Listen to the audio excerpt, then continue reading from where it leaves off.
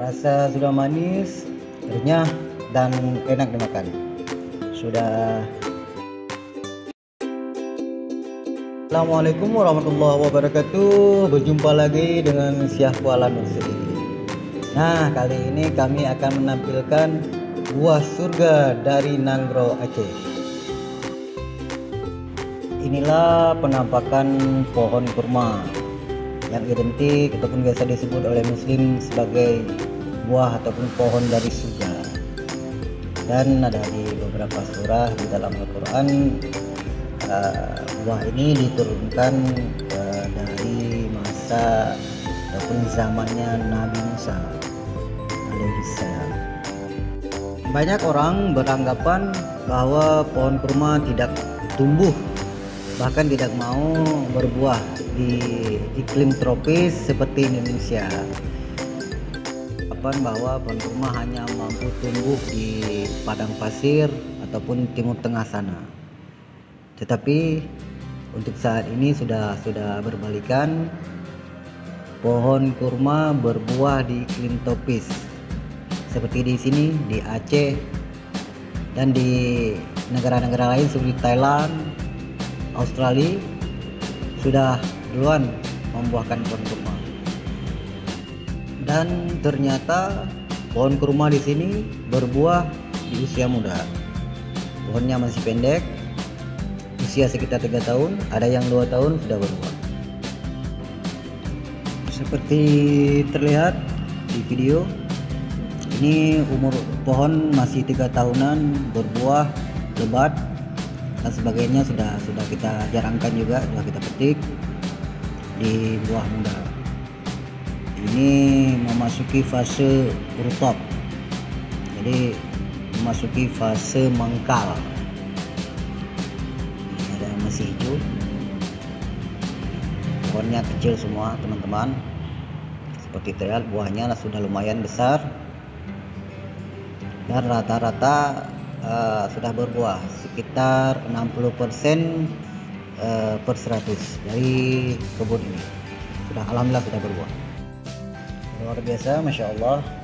Ini dari tanah Serambi Mekah dari Aceh. Ini memasuki fase rutop Alhamdulillah sudah manis biarpun masih ada lagi hijau-hijau gini. Nah teman-teman YouTube uh, mengapa disebut uh, super superfood ataupun buah super karena dalam sebutir kurma banyak mengandung vitamin, mineral dan berbagai energi yang telah diteliti oleh uh, para peneliti. Hasil riset para ahli sehingga WHO menyimpulkan bahwa buah ini adalah superfood dan sesuai dengan uh, yang disunahkan oleh Rasulullah SAW uh, kurma banyak mengandung manfaatnya. Dari buah muda sudah bermanfaat untuk uh, program kehamilan bagi pasangan yang mandul yang biasanya di, di ini di, di apa di ini yang yang masih hijau masih hijau-hijau ini dari buah buah muda. Dan juga yang kuning dan buah kurma ini nantinya setelah pamar ataupun masak penuh masak full uh, di, ataupun dikeringkan bisa disimpan bertahun-tahun. Jadi inilah mengapa dia disebut sebagai superfood. Bisa kita bayangkan guys jika nanti bumi ini mengering tidak ada padi ataupun gandum yang tumbuh jadi inilah salah satu solusi uh, pangan akhir zaman nanti yaitu buah kurma. Dan itu tidak tertutup kemungkinan karena semakin hari bumi semakin panas.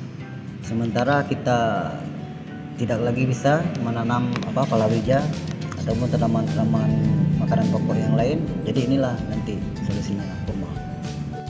Sebatang pohon kurma nantinya bisa berproduksi hingga ratusan kilogram per batangnya. Jadi pohon ini berusia tiga tahun dalam dengan usia buah sekarang wajib lebih kurang 120 hari. Itu dari hababuk terhitung dari polinasi kita lihat eh, teman-teman lumayan buahnya besar. Kita ukur. Ada ada yang panjang 4 cm ada yang 3,7 cm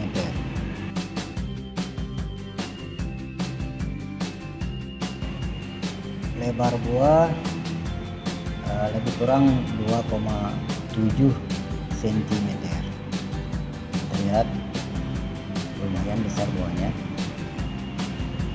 Sudah seukuran dengan buah yang di di timur tengah sana. Ada seukuran. Nah pemirsa YouTube mari kita terus menanam kurma. Seperti inilah penampakan pohon kurma di kebun kurma Aceh. Ini di lembah Barbate. Alhamdulillah Insya Allah nanti setelah lebaran ini kita akan memanen perdana. Panen perdana skala kebun pertama di Indonesia. Insya Allah akan sukses. Ini adalah buah kurma varietas Barhi bibit asal kultur jaringan jadi persis seperti yang di luar negeri sana. Nah sementara ada juga eh, kita tanam yang dari biji tapi buahnya tidak beragam dan tidak seukuran ini.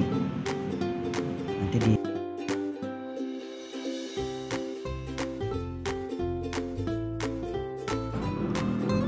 Nah teman-teman yang buah dari biji. Asal biji Thailand. Ini berbuah kemarinnya cukup banyak.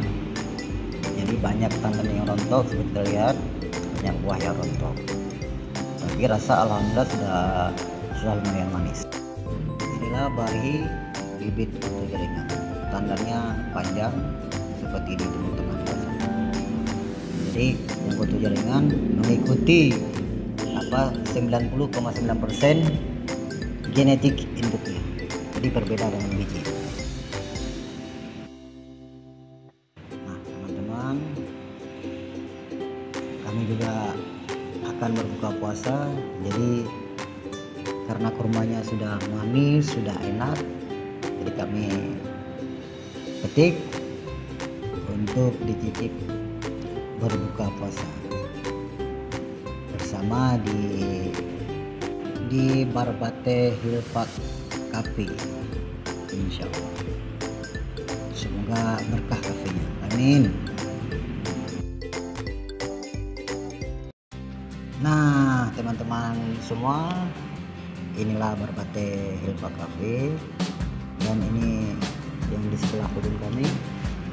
Jadi posisi kebun kami tidak jauh dari pantai jadi ini dekat hanya beberapa kilometer dari pelabuhan Malahayati Malahayati Port of Aceh Aceh besar. Inilah pelabuhannya.